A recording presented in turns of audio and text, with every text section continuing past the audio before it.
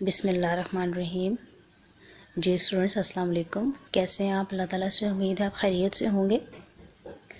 आज हमने दूसरा सबक पढ़ना है नात, और आप सबको पता है कि नात उस नज़म को कहते हैं जिसमें हमारे प्यारे नबी हज़रत मोहम्मद सल्लल्लाहु अलैहि वसल्लम की तारीफ़ बयान की जाए और उनकी सिफ़ात का ज़िक्र किया जाए।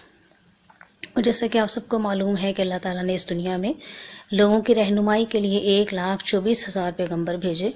जिनमें सबसे पहले नबी का नाम हज़रत आदम सलाम है और सबसे आखिरी नबी जो है वो हमारे प्यारे नबी हज़रत मोहम्मद मुस्तफ़ा सल्लल्लाहु अलैहि वसल्लम है।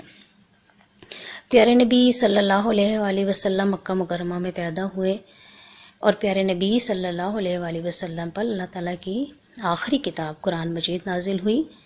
इसलिए अब क़्यामत तक के लिए, हमारी रहनुमाई के लिए प्यारे नबी सल्लल्लाहु अलैहि वसल्लम है, उनके बाद कोई नबी नहीं आएगा। और किताब जो है कुरान मजीद है, इसके बाद कोई किताब नाजिल नहीं होगी। हमारे प्यारे नबी सल्लल्लाहु अलैहि वसल्लम का रोज़ मुबारक मदीना मुनवरा में है और हमारे प्यारे नबी सल्लल्लाहु अलैहि वसल्लम का नाम मोहम्मद है और अहमद भी है। अहमद नाब जो है, कुरान से पहले जित, तीन जो इल्हामी किताबें नाजिल की अल्लाह ताला ने तो रात इंजील और ज़बूर, उसमें अहमद नाम है। अहमद का मतलब है जिसकी बहुत ज़्यादा तारीफ़ बयान की जाए। तो आए मैं नात नज़म शुरू करती हूँ। आप लोगों के पास पेंसिल होनी चाहिए। जो जो मैं आपको कहूँगी अल्फाज, उसको अंडरलाइन कीजिएगा। सबसे पहला जो शेर है, वो है, हमारे नबी अहमद मुस्तफ़ा हैं। फ़िदा उन पे हम वो रसूल खुदा हैं। हमारे नबी, यानी प्यारे नबी हज़रत मोहम्मद मुस्तफ़ा सल्लल्लाहु अलैहि वसल्लम, इसमें अहमद नाम आप देख रहे हैं ना? अहमद नाम जो है, इसका मतलब है बहुत ज़्यादा, जिसकी तारीफ़ बयान की जाए, और ये पहली अलहमी किताबों में दर्ज है। और मुस्तफ़ा जो है, ये प्यारे नबी सल्लल्लाहु अलैहि वसल्लम का लकब है, यानी बहुत ज़्यादा जिसकी तारीफ़ की जाए। फ़िदा का मतलब होता है कुर्बान। फ़िदा उन पे हम यानी हम सब प्यारे नबी सल्लल्लाहु अलैहि वसल्लम पर हमारी जानें भी कुर्बान हैं। क्यों? क्योंकि वो रसूल खुदा हैं। वो अल्लाह ताला के रसूल हैं। अल्लाह ताला के आखिरी नबी हैं। हजूर पाक सल्लल्लाहु अलैहि वसल्लम के बाद क़्यामत तक कोई नबी नहीं आएगा। कुरान में भी दर्ज है, अहादीस से साबित है कि हज़रत मोहम्मद मुस्तफ़ा सल्लल्लाहु अलैहि वसल्लम ख़ातमुलनबीजीन हैं। ख़ातमुलनबीजीन का मतलब ये है कि उनके बाद वो नबियों की मोहर हैं। यानी उन्होंने मोहर लगा दी है, उनके बाद कोई नबी इस दुनिया में अब नहीं आएगा। अब दूसरे शेर पे आ जाए। खुदा की इतात, अब ये रेड कलर का आपको लफ्ज़ नज़र आ रहा होगा। खुदा की इतात है उनकी इतात, यानी कि इतात का मतलब क्या होता है? मानना किसी बात को अहकाम को मानना। तो खुदा की इतात है, उनकी इतात यानी कि अगर हम प्यारे नबी सल्लल्लाहु अलैहि वसल्लम की इतात करते हैं तो गोया हम अल्लाह ताला की इतात करते हैं। ये कुरान मजीद में भी है, अल्लाह ताला का इरशाद है कि जिसने प्यारे नबी सल्लल्लाहु अलैहि वसल्लम की इतात की, गोया उसने मेरी इतात की। दूसरा मिसरा देखिए, खुदा तक पहुँचने का वो रास्ता है। हमें प्यारे नबी सल्लल्लाहु अलैहि वसल्लम की वजह से, उनकी तालीमात से, उनकी सुन्नत से, उनके अमाल से हमें पता चला कि खुदा एक हस्ती है इस दुनिया को चलाने वाली। तोहीद तोहीद का मतलब क्या है? खुदा एक है। खुदा के बारे में हमें किसने बताया? हमारे प्यारे नबी सल्लल्लाहु अलैहि वसल्लम ने बताया कि अगर हम प्यारे नबी वसल्लम के अहकाम पर अमल करेंगे तो दुनिया और आखिरत दोनों में कामयाब हो जाएँगे। क्योंकि प्यारे नबी वसल्लम रास्ता का मतलब यहाँ पर है, ज़रिया है। यानी कि हमें प्यारे नबी वसल्लम की वजह से, उनके ज़रिए से खुदा के बारे में पता चला है। उन्हीं से मिली दीन और ईमा की दौलत। उन्हीं पर दिलो जहाँ से हम फिदा हैं। उन्हीं से मुराद है प्यारे नबी सल्लल्लाहु अलैहि वसल्लम, यानी उन्हीं से मिली दीन और ईमान की दौलत। दीन क्या है? दीन इस्लाम। और ईमान की दौलत, यानी हमने कलमा पढ़ लिया, हम मुसलमान हो गए तो ये दौलत जो है प्यारे नबी सल्लल्लाहु अलैहि वसल्लम की वजह से मिली है। अल्हम्दुलिल्लाह, हम मुसलमान हैं, हम प्यारे नबी सल्लल्लाहु अलैहि वसल्लम के उम्मती हैं। आपको पता है, बच्चों के अम्बिया इस्लाम में से एक लाख चौबीस हज़ार अम्बिया इस्लाम इस दुनिया में आए हैं और उनमें से बहुत से अम्बिया ने ये ख्वाहिश ज़ाहिर की थी कि हम प्यारे नबी वसल्लम की उम्मती हों। तो हमें तो अल्लाह ताला का शुक्र अदा करना चाहिए कि हमें बग़ैर हमारी ख्वाहिश के ही हमें अल्लाह ताला ने अपने आखिरी नबी हज़रत मोहम्मद मुस्तफ़ा सल्लल्लाहु अलैहि वसल्लम की उम्मत में पैदा किया है। हमें क्या करना चाहिए? हमें अल्लाह ताला प्यारे नबी सल्लल्लाहु अलैहि वसल्लम के अहकाम पर अमल करना चाहिए। उन्हीं पर दिलो जहाँ से हम फिदा हैं। उन्हीं पर, यानी कि प्यारे नबी वसल्लम पर हम दिलो जान से कुर्बान हैं। हमारे माँ बाप उन पर कुर्बान हैं, जिन्होंने हमें सीधा रास्ता दिखाया हमें बताया है कि ये सीधा रास्ता है, इस पर चलोगे तो कामयाब हो जाओगे, अगर इस पर नहीं चलोगे तो नाकाम रहोगे। हमेशा रहे नाम उनका ज़बा पर। वही आरज़ू हैं, वही मद्दा हैं। इसमें शायर कयूम नज़र जो है वो कहते हैं, हमेशा रहे नाम उनका ज़ुबान पर, यानी कि दुआ है, और उनकी ख्वाहिश है कि हमारी ज़ुबान पर हमेशा प्यारे नबी सल्लल्लाहु अलैहि वसल्लम का नाम रहे, क्योंकि वही हमारी आरज़ू हैं, वही हमारी ख्वाहिश हैं, और वही हमारा मुद्दा है, यानी कि वही हमारे जो है कामयाबी का ज़रिया हैं। तो इसलिए हमारी ये ख्वाहिश है, हमारा ये मकसद है कि हमारी ज़ुबान पर प्यारे नबी सल्लल्लाहु अलैहि वसल्लम का नाम रहे। तो मुझे उम्मीद है कि आपको ये नज़म समझ आ गई होगी। नात जो है अब हम आते हैं इसकी मश्क की तरफ़। सबसे पहला सवाल देखेंगे।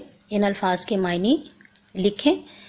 समझिए और जुमले बनाएँ, लेकिन आप सिर्फ़ अल्फाज मायने लिखेंगे। पहले कॉलम में आप देखेंगे, लफ्ज़ है मुस्तफ़ा, जिसका मतलब है हजूर पाक वसल्लम का ये लकब है, चुना हुआ और पसंदीदा।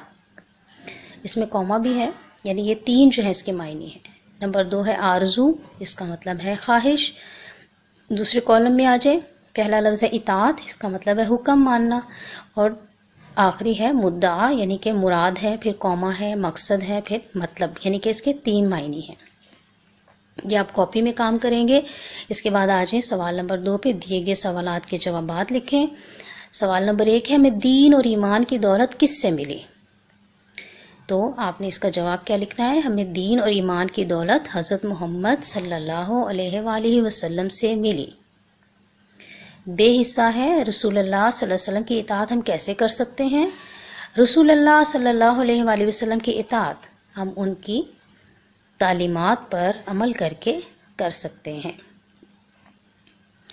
जीम है, अल्लाह ताला ने आप सल्लल्लाहु अलैहि वसल्लम को दुनिया में क्यों भेजा? तो इसका जवाब है, अल्लाह ताला ने आप सल्लल्लाहु अलैहि वसल्लम को दुनिया में लोगों की हिदायत के लिए भेजा, लोगों की रहनुमाई के लिए भेजा। ठीक है? इन दोनों में से एक भी लिख सकते लिख सकते हैं आप लोग कि अल्लाह ताला ने आप वसल्लम को दुनिया में लोगों की रहनुमाई के लिए भेजा। अब आ जाए नेक्स्ट पेज पे। इसमें आप देखें, लफ्ज़ों का खेल है। हर लफ्ज़ के आखिर में वाव लगाकर नए अल्फाज बनाएँ और उन्हें दुरुस्त लफ्ज़ तलफ़ के साथ पढ़ें। ठीक है? ये आप बुक पे ही काम करेंगे। पहला लफ्ज़ है बोल। अब लाम है ना, इसके बाद वाव लगा देंगे तो क्या बन जाएगा? बोलो। दूसरा लफ्ज़ है खोल। इस पे भी लाम के बाद वाव लगाएँगे तो क्या बन जाएगा? खोल से खोलो। फिर तीसरा लफ्ज़ देखें, तोल है। इसके बाद भी आप वाव लगा लेंगे तो तोल से बन जाएगा तोलो। इसके बाद छोड़ लफ्ज़ है, उसके बाद वाव लगा देंगे तो छोड़ से क्या बन जाएगा? छोड़ो। अगले कॉलम में आ जाए। पहला लफ्ज़ है तोड़। इसके बाद वाव लगाएँगे तो तोड़ से बन जाएगा, तोड़ो। अगला लफ्ज़ है मोड़। इसके बाद वाव लगाएँगे तो मोड़ से बन जाएगा, मोड़ो। फिर है सोच। इसके बाद वाव लगाएँगे तो सोच से बन जाएगा, सोचो। फिर आखिरी लफ्ज़ है जोड़। इसके बाद वाव लगाएँगे तो जोड़ से बन जाएगा, जोड़ो। इस तरह से आप लोगों ने इसमें लिखने हैं, ये किताब पर ही आप लोग काम करेंगे। साफ़ सुथरा सा। फिर उसके बाद आप आ जाएँगे कवायद सीखें। कवायद का मतलब क्या है? ग्रामर। दिए गए जुमले पढ़ें। उनमें मुतजाद अल्फाज को नुमाया किया गया है। मुतजाद अल्फाज कौन से होते हैं? उल्ट अल्फाज। जैसे पहला जुमला मैं आपके सामने पढ़ूँगी, जैनब छोटी और सादिया बड़ी है। अब इसमें आपको सुर्ख रंग में नज़र आ रहा होगा, जैनब छोटी। छोटी जो है और सादिया बड़ी है। यानी छोटी का मुतजाद लफ्ज़ क्या है? बड़ी। अगला जुमला है, देखें, झूठ मत बोलो, हमेशा सच बोलो। अब इसमें झूठ देखें रेड कलर में आपको नज़र आ रहा होगा और साथ ही है सच। यानी झूठ का मुतजाद लफ्ज़ क्या है? सच है। तो इसी तरह से आपने मिसाल के मुताबिक अल्फाज और उनके मुतजाद को लकीर के ज़रिए से मिलाना है। पहला मिसाल इन्होंने दी हुई है। अल्फाज मुतजाद लिखे हुए हैं। पहला है अच्छा और उसका मुतजाद क्या है? बुरा। दूसरा है रात। अब तीसरा अल्फाज पहले हम पढ़ लेते हैं। तीसरा है दूर, नंबर चार है मुश्किल और नंबर पाँच है ऊपर। इसी तरह मुतजाद अल्फाज में पहला लफ्ज़ है आसान, दूसरा है नज़दीक, तीसरा है बुरा, नंबर चार है नीचे और नंबर पाँच है दिन। तो आप पहला देखेंगे अच्छा उसका है, इन्होंने मिसाल दी हुई है बुरा। रात का क्या होगा? दिन। दूर का क्या होगा? नज़दीक मुश्किल का क्या होगा? आसान। और ऊपर का क्या होगा? नीचे। इसी तरह से आप किताब पर ये मिलाएँगे और इसको इसकी तस्वीर बना के सेंड करेंगे। इसके बाद आ जाए नेक्स्ट पेज पे।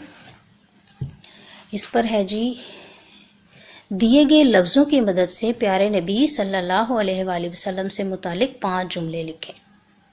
अब पहले बॉक्स में आप देखेंगे, क्या लिखा हुआ है? वालिद और वालदा का नाम। दूसरे में है आखिरी नबी सल्लल्लाहु अलैहि वसल्लम, तीसरे में लिखा हुआ है कुरान मजीद और आखिर में लिखा हुआ है मक्का। अब सबसे पहले आपने हज़रत, जुमला लिखना है जो, हज़रत मोहम्मद सल्लल्लाहु अलैहि वसल्लम के वालिद का नाम अब्दुल्ला और वालिदा का नाम बीबी आमना है। ठीक है? उस जुमले में ये जो लफ्ज़ ऊपर बॉक्सेस में लिखे हुए ना, वो आने चाहिए। अब नंबर दो जो है, उसमें आप लिख सकते हैं, हज़रत मोहम्मद सल्लल्लाहु अलैहि वसल्लम, अल्लाह ताला के आखिरी नबी हैं। नंबर तीन में आप लिख सकते हैं, कुरान मजीद, प्यारे नबी, हज़रत मोहम्मद सल्लल्लाहु अलैहि वसल्लम पर नाजिल हुआ। फिर आप लिखेंगे, हज़रत मोहम्मद वसल्लम मक्का मुकरमा में पैदा हुए। और आखिरी जुमला आप लिख सकते हैं, हज़रत मोहम्मद वसल्लम का रोज़ मुबारक मदीना मुनवरा में है। ये भी काम आप किताब पर कर लीजिएगा। नीट सा लिख के इसकी तस्वीर बना के मुझे सेंड करेंगे। तो मुझे उम्मीद है कि आपको ये समझ आ गया अगर बार बार इसको देख लीजिएगा वीडियो को, अगर नहीं समझ आई, अल्लाह ताला आपका हामी नासिर हो। अल्लाह हाफिज़।